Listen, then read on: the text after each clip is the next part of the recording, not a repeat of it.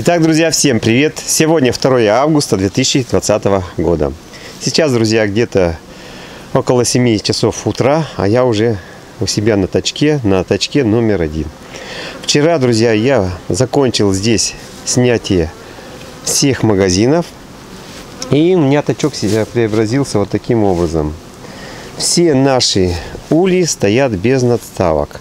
Сейчас у нас на Урале как бы взяток идет, но небольшой такой, небольшой поддерживающий. Все, что они приносят, фактически это все уже у них уходит как бы, ну, съедается, скажем так.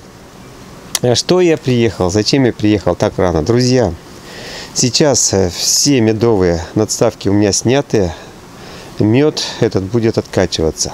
А то, что сейчас здесь у меня стоят вот эти ульи, Сейчас они у меня будут обрабатываться от клеща вара. Это, друзья, самое важное после снятия наших магазинных надставок. Так как товарный мед мы у них взяли, осталось теперь у них гнездо. Зачем я буду обрабатывать так рано? Вроде бы еще и начало августа. Ну, для того, друзья, борьбу с клещом нужно не останавливаться. Ее нужно обязательно вести. Если взять прошедший год, в ту весну, летом я обработки никакие не делал и раньше никогда не делал ничего.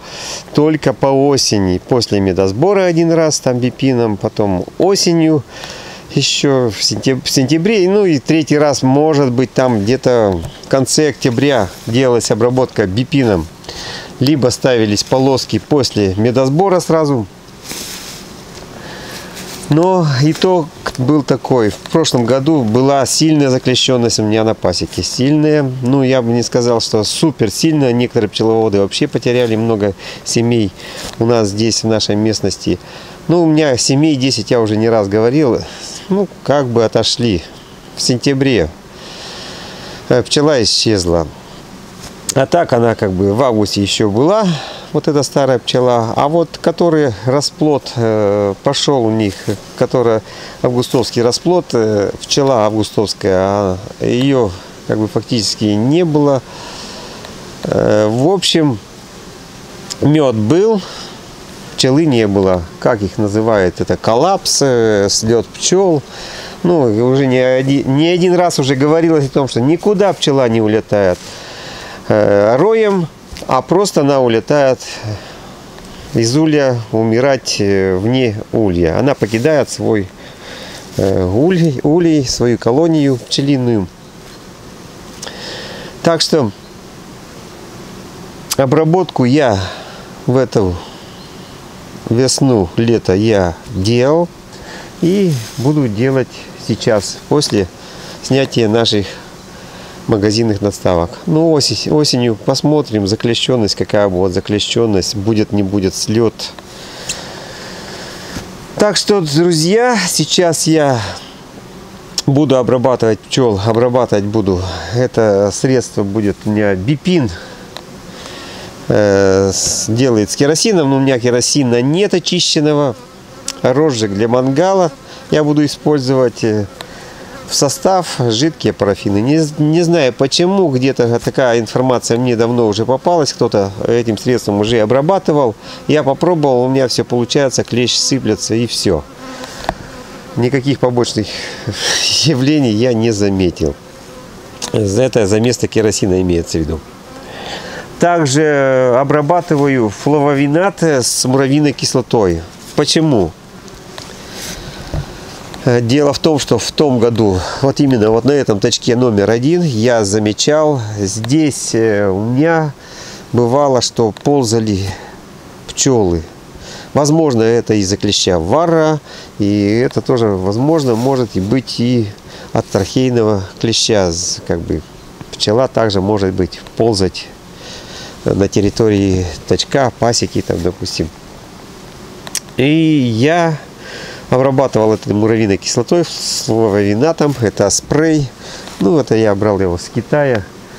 550 миллилитров. Ну, и флаконы сейчас там, по-моему, поменьше продаются. 350, наверное, вместимость флавовинат с муравьинкой.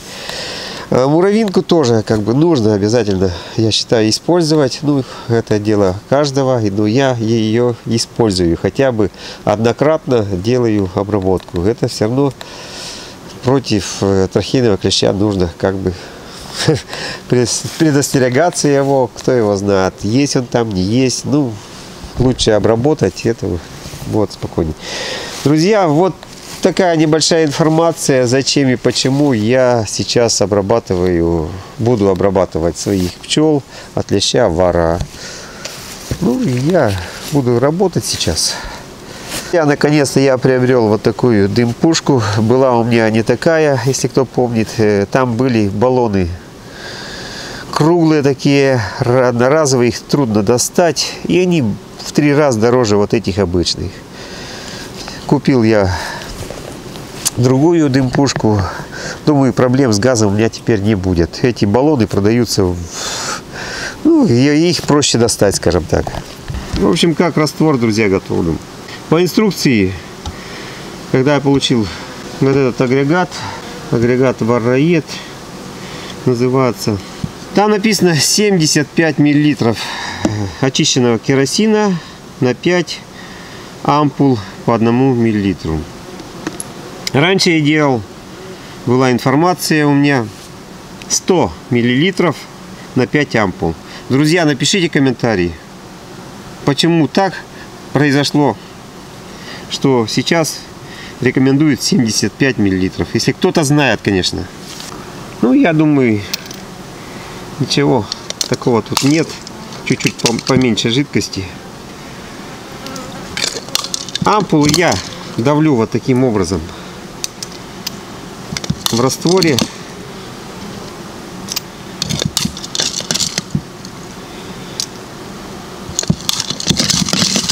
В общем, все перемешиваю. Воронка с ситом у меня здесь. Ситечка. Ну и что? Стекло. Все сюда высыпаю. Стекло в дымпушку не попадает. Все просеивает, процеживается.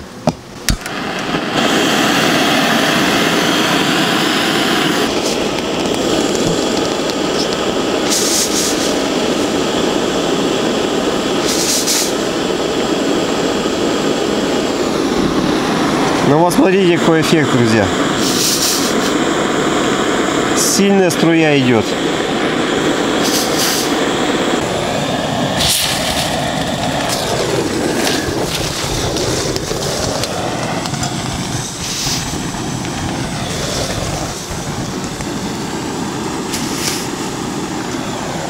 Ну, в принципе, быстро получается.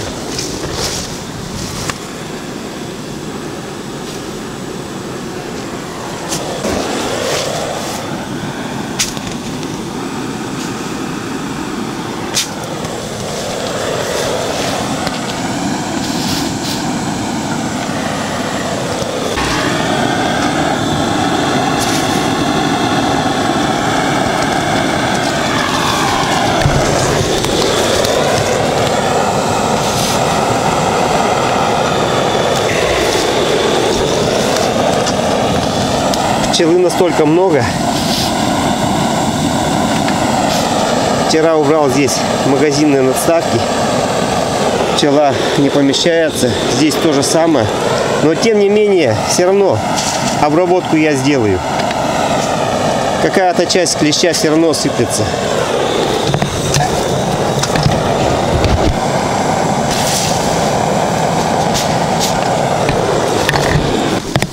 Если, друзья, не обрабатывать, то это будет, конечно, минус.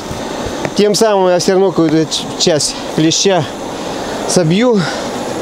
И, естественно, клеща будет у нас в улье меньше на пчелах. И этот клещ меньше попадет в ячейки.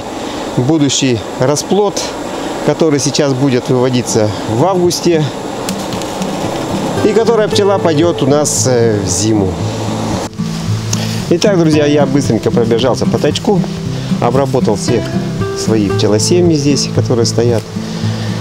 Ну, друзья, если кому была интересна моя информация и кто видео досмотрел до конца, не забываем поставить лайк. Кто, друзья, не подписался, подписывайтесь. Там внизу рядом с подпиской имеется значок колокольчик. Жмите его, и вы всегда будете получать свежие новости с моего канала. Всем, друзья, пока и до новых встреч. Всем удачи! Пока-пока!